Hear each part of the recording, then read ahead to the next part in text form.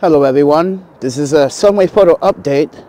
So this is how I'm setting up when I'm shooting some mobile if I want to be light, if I don't want to carry a lot around.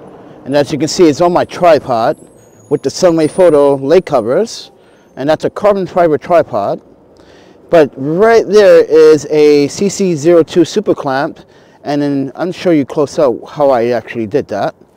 You can see how I mounted two ball heads from Sunwayfoto, the, S, the HB02 to the HB03 to the PCR. And as you can see, it looks pretty decent and it's super light. This is how I want to shoot some mobile light.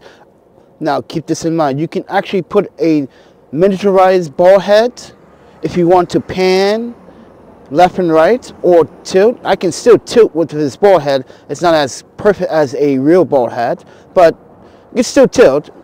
But if you want to get some still shots, this is the way to do it. Using all, mostly the Sunwayfoto gear that Sunwayfoto provided.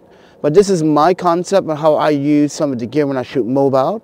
But I leave all the links down in the descriptions below so you guys can make a decision to purchase it. If this is your first time here on this channel, I'm the Panda Photographer, everybody. We are in New York City. And no, I am not sponsored by Sunwayfoto, but they do send me all these cool stuff to play with and to do an assessment. So I'm just giving you guys my weekly notice on this gear. So this is what I use when they send it. But I have more to show you pretty soon. But stay tuned, subscribe, like, and share.